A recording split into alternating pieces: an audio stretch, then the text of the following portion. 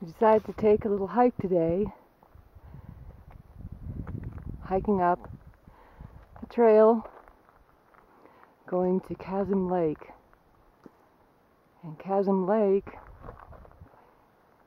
is located at the base of the diamond, which is that big cliff, cliff you see up ahead. We'd like to be able to climb that someday, but it's pretty hard. Any rate, we're going over the saddle now and should be dropping into the lake basin pretty soon.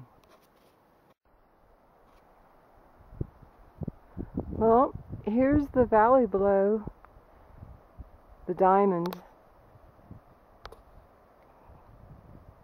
Beautiful alpine rock area. See that pointy buttress up there? Archie tried climbing that with an, a buddy of his years ago. It was really hard. And there's Long's Peak, the diamond again. We've been up there, the other side, hiking trail. We're going to try and come up it on the right hand ridge. Did you see that hummingbird? That hummingbird just came and buzzed the camera because it's pink. Here's a really pretty patch of columbine. This is about as many as we've ever seen in one spot.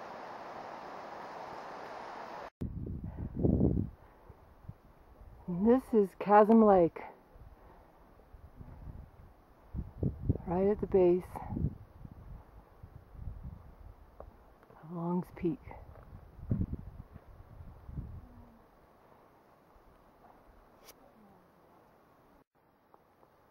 Little fella right there, that's a marmot. They live at high elevation up in the mountains. And they like to steal food from your pack. If you bring a food up here, you have to hide it real careful so they don't steal it. They'll rip right through your pack. This guy's coming right over. Yes, sirree, he wants some of our snacks. Oh, Arch, aren't you going to give him a bit of a snack? Nope. Mr. Marmot doesn't get a piece of our snack.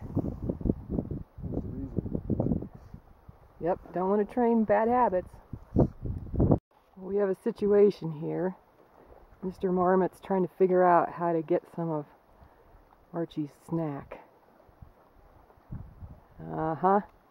He's working pretty hard. Archie's got really tasty little things like banana chips and papayas.